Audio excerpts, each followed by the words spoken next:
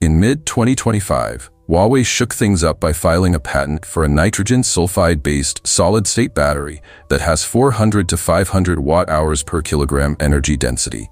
They said it will fully charge in just 5 minutes and boasted a driving range of up to 3,000 kilometers. That's over 2,000 kilometers by tougher EPA standards. The nitrogen-doped sulfide electrolyte in this battery would supposedly fix interface stability issues with lithium metal. And they are not even an EV battery manufacturer yet, but them entering into this space is something other rivals might not catch up with. Yes, most electric vehicles today run on lithium-ion batteries with liquid electrolytes. They work fine, but they come with some baggage, like flammability, limited energy density, and they degrade over time and everyone is turning towards solid-state batteries. Also, solid-state batteries are not in mass production yet, as what we are seeing is a wave of semi-solid batteries slash hybrid batteries hitting the market. But can they catch up? As we continue, make sure you subscribe to our YouTube channel with the bell notification turned on for more videos. Back in 2014, Toyota showed off a solid-state battery prototype and boldly claimed that by 2021, all their electric cars would run on this new tech. That didn't happen. Fast forward to 2023, and they made headlines again, this time saying they had a working prototype that could deliver 1,200 kilometers of range and charge in just 10 minutes, that it will be commercialized in five years, then mass-produced in 2030. But many are not buying into their overpromising and undelivered. Nissan plans to test solid-state battery production in 2025, hoping to scale by 2029. Prologium is building a 5.2 billion euro gigafactory in Dunkirk, France, prepping to supply Mercedes-Benz and others by 2027-2028.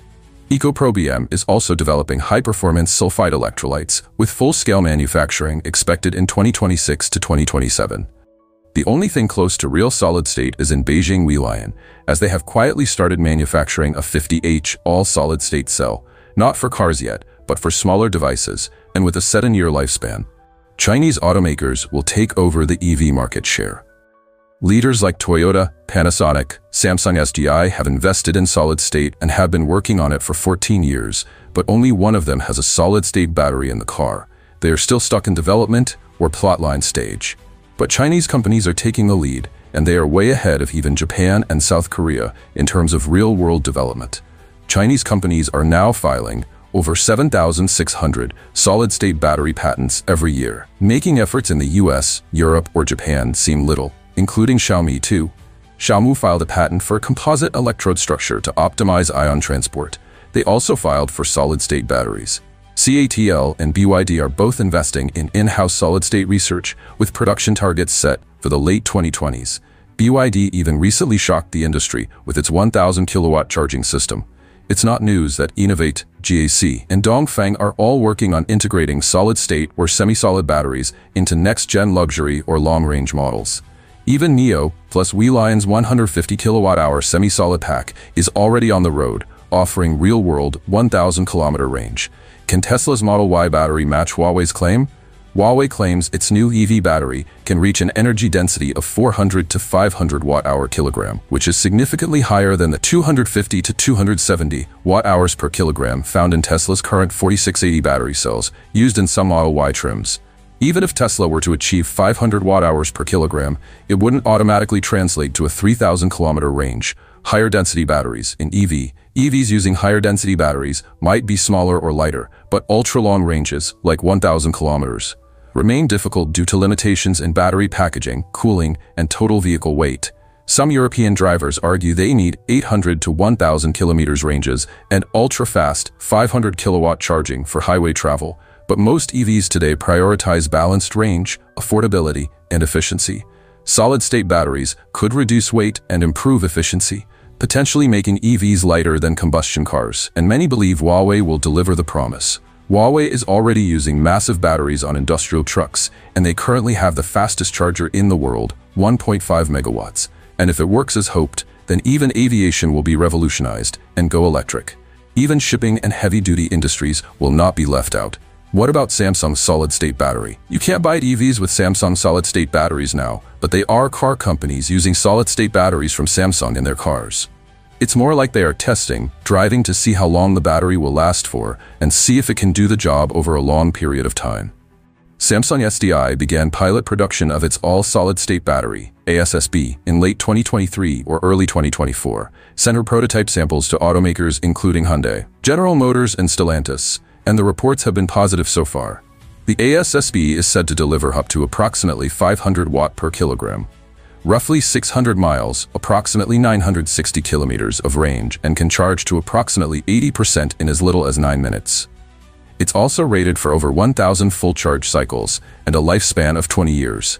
The initial deployment is aimed at super premium EVs, where higher cost is acceptable, with mass production expected around 2027. Even Mercedes-Benz is currently running a road test of a lithium metal solid-state battery in a modified EQS prototype, but not with Samsung SDI. Mercedes-Benz partnered with Factorial Energy and they began the test in early 2025. For now, the fastest charging EV battery currently in production and tested comes from Zeekr under Geely. Their new 5.5C lithium iron phosphate LFP battery, also known as the Golden Battery, has been shown to charge from 10% to 80% in as little as 9 minutes, 45 seconds. Geely's Zeekr 007 sedan, Zeekr 7X SUV, were tested using the Golden Battery. Even the current largest battery company isn't folding its arms. CATL aims to begin the small volume production of a hybrid solid-state battery in 2027. They confirm that they are 7 to 8 out of 9. Ready and envision energy densities around 500 watt per kilogram in their solid-state prototypes. CATL's recent Shenxing battery can reportedly add 323 miles, approximately 520 kilometers of EV range in just 5 minutes of charging, and charge from 5% to 80% in 15 minutes, even at negative 10 degrees Celsius. CATL is already dominating the global EV industry with about 38% market share, and if they are faster than Huawei to produce a 2,000 kilometer solid state, their market share will go up.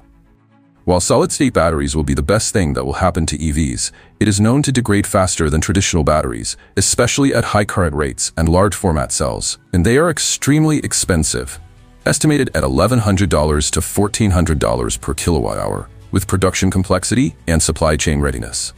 For comparison, commercial lithium-ion packs, LFP or NCM, are around $130 to $150 per kilowatt hour, depending on chemistry and scale.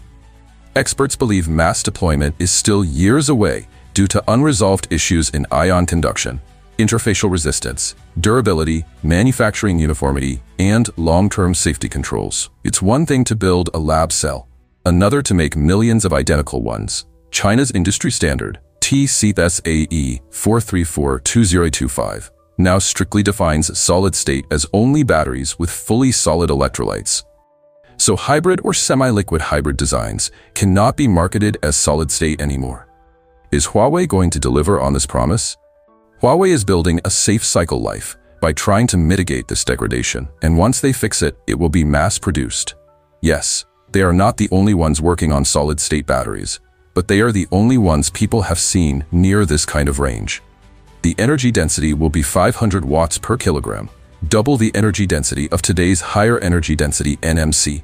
If my car had a 2000 kilometers range, I would only charge a year. Haha, Huawei's involvement in solid-state batteries means they have lots of backings, as they are recently just showing interest in battery materials. Huawei has strategic ties with major Chinese automakers like SAIC Motor, Chang'an, VIA Avatr, BAIC, and Seres which are all part of Huawei's smart car strategy called the HIMA. Avatr Technology paid 11.5 billion yuan, approximately $1.5 billion, for a 10% stake in Huawei's EV unit Yinwang, tying Huawei directly into EV manufacturing relationships, coupled with the fact that they will be backed by Chinese government with investment and priority access to materials unlike other countries. If Huawei succeeds first, then the industry is in trouble. Huawei is a serious company. They usually push through on what they say. If they fully embark on it, they will be the major suppliers of batteries to EVs with no chance for the industry to recover. Think of Huawei expanding these factories in a few years if the prototype succeeds. Think of electric cars with a range of 1,000 miles, over 1,600 kilometers being